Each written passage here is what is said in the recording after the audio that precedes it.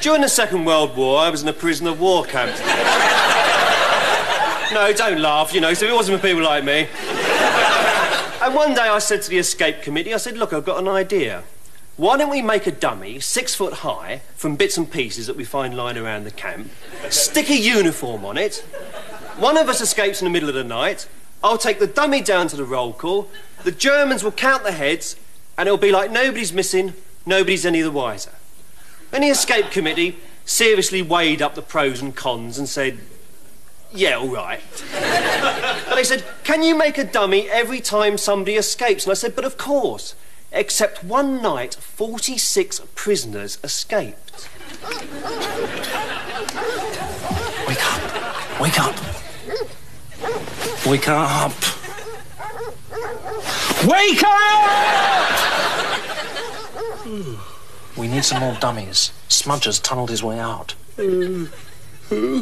Smudger. And Nobby and Ginger and Chalky and Taffy and Jock, Dusty, Spongy, Paddy, Pongo, Billy, Stinker, Harry, Plunger, and Mr. Beamish. What about Jumbo? Jumbo got stuck in the tunnel.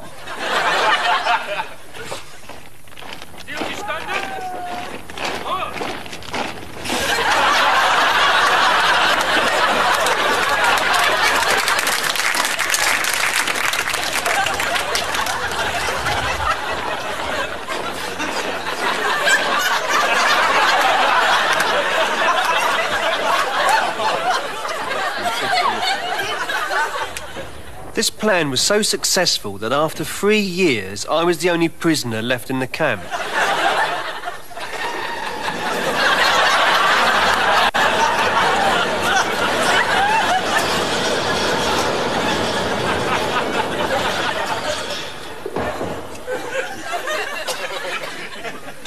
What's the matter, Bert? Don't you want your sausages then? Well, I'll have them for you. Don't mind, no, I don't care at all.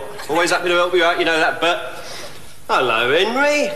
You're looking a bit uh, down in the mouth, then. What's the matter? Oh, you've had a letter from your wife, have you? Yeah. Oh, yeah. What's that? She's having an affair with the milkman. Well, no wonder you don't want to have your glass of milk. That's like a nasty reminder, that is. I'll finish it for you. Don't worry about that. Oh. It's a nice drop, there. Yeah, Stephen, uh, is it right your mother was knocked down by a bloke driving a Weetabix lorry? Well, he won't want that for a start, then, will you? I'll sort that out for you. Don't worry about that. Yeah, Nigel, is your, uh, your tea's not too hot for you? I had to eat 480 breakfasts every morning and keep the conversation going because the Germans aren't stupid. And the bread, the bread is very good as well. Look at that. It's beautiful bread. Well, I don't know about you lot, but I could do with a bit of exercise.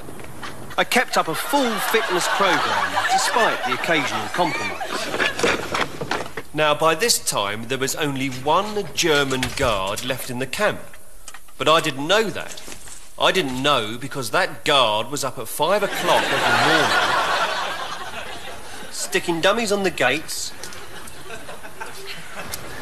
dummies in the dining room, dummies in the yard, and this went on for months until half past eight one morning.